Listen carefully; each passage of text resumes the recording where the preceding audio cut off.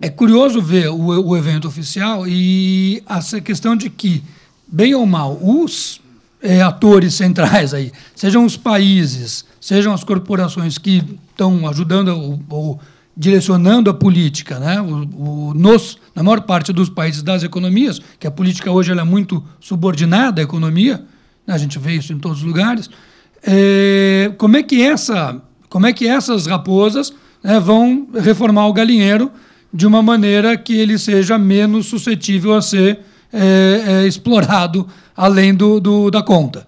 Eu acho que é, é uma contradição, acho que a gente vive exatamente no mundo de disputa e de tensão. E acho que a gente tem que enxergar desse jeito, não tem soluções únicas. Então, a evidência científica objetiva de que do jeito que a gente está indo, a coisa vai dar errado, ela é serve para todo mundo. Se todo mundo sabe que o clima vai ter problemas, só que tem disputas de interesses aí. E aí eu acho que o fato de haver uma mobilização que está por fora do, do, evento oficial, ela exatamente vai procurar e deve enfatizar essa distância. É, enfatizar que, assim, é, estamos acertando no, no, na descrição do problema e possivelmente nas linhas de, de, de solução, só que está faltando efetividade, está faltando abrir mão de uma dose de poder, está faltando participação, controle social nessa governança. Eu acho que esse é um dos recados que tem que aparecer. Tem gente que não acha que tem que ser um recado diferente. Tem vários movimentos sociais que dizem que o problema é que tudo isto é o capitalismo e o capitalismo está se expandindo pelo mundo. É, enquanto não acabar o capitalismo, não teremos solução para esse problema. Pode até ser verdade, mas assim não tem um lugar para ligar e desligar o capitalismo nem o que vai colocar no lugar. Então, assim, o que, que a gente faz no mundo real para poder avançar? Então, acho que essa é, uma, é, uma, é uma, um desafio que vai se colocar. E ele é tanto político quanto, quanto econômico. Ele vai nos dois lados. Essa conferência nos coloca nesse grande dilema. Você quer ver um grande dilema? Quem vai patrocinar a conferência?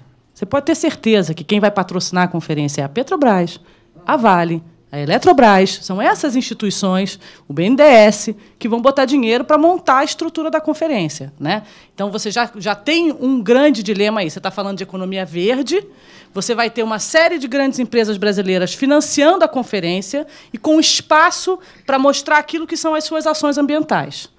Né? E a gente sabe, que a gente, né, morando aqui, conhecendo, quais são, digamos, os, as contradições que estão inerentes a isso.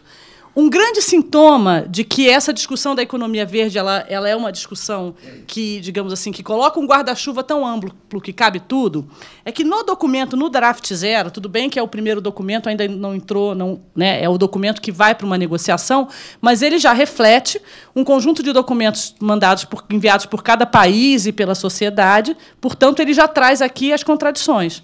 A parte de economia verde não tem nenhum parênteses. Não existem duas propostas. Ele tem um grau de. Então, ele tem um grau de generalidade que cabe tudo, ou seja, ele está num nível ainda que não, que não responde às grandes questões. Né? No, no, na discussão sobre governança, ele já começa a aparecer alguns parênteses, que são é, vai ser uma organização assim, uma organização assado. Mas também, eu estava até comentando com o Aron, uma coisa que me chama a atenção é que ele propõe novas instituições, mas não discute sequer o modus operandi das Nações Unidas e do multilateralismo.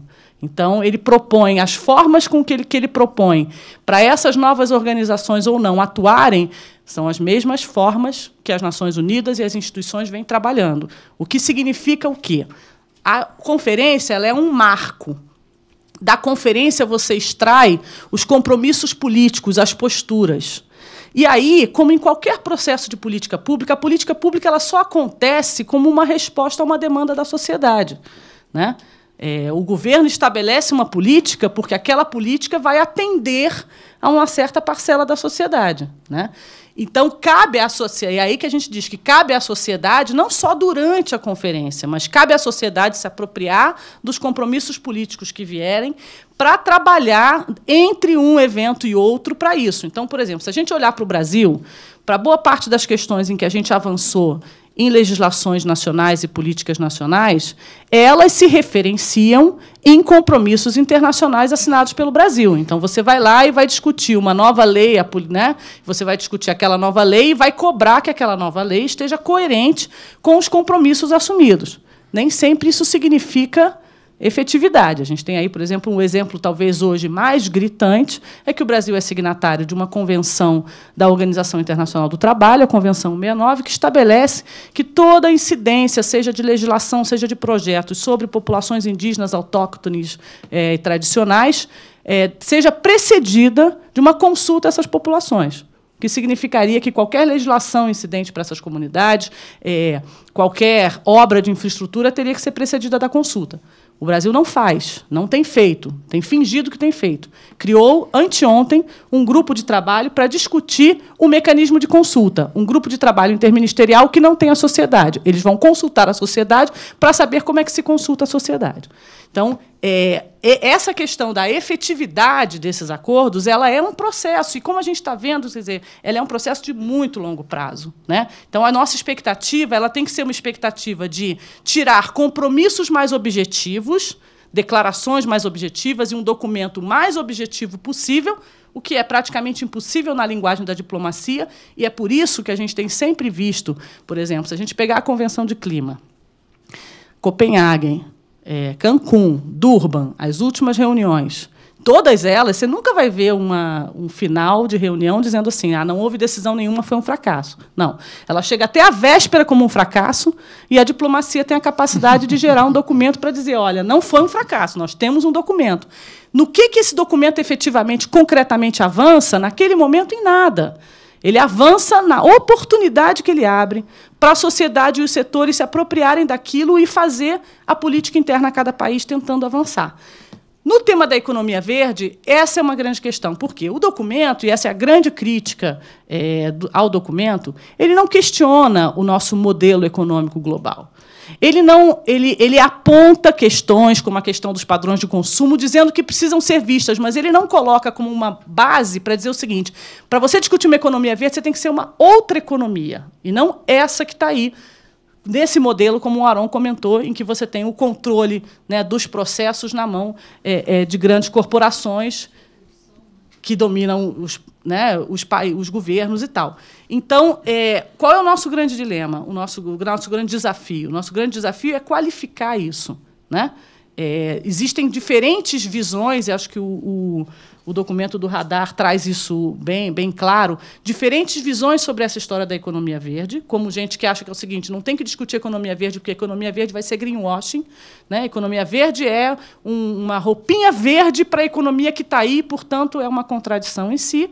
Né? Tem gente que diz, não, a economia verde ela é uma oportunidade, porque ela faz com que as empresas e os governos se comprometam com um guarda-chuva dentro do qual você pode desenvolver práticas diferenciadas. Então, há diferentes abordagens. Né? Tem gente que olha e diz assim: olha, economia verde, para mim, é a economia que é feita é, né, no uso mais sustentável, nas experiências de, de, de, comércio solidário e local, enfim, ela está totalmente distante de uma possibilidade de uma economia verde global, enfim. Tem diferentes visões e diferentes possibilidades que também estão em disputa, isso é uma coisa interessante.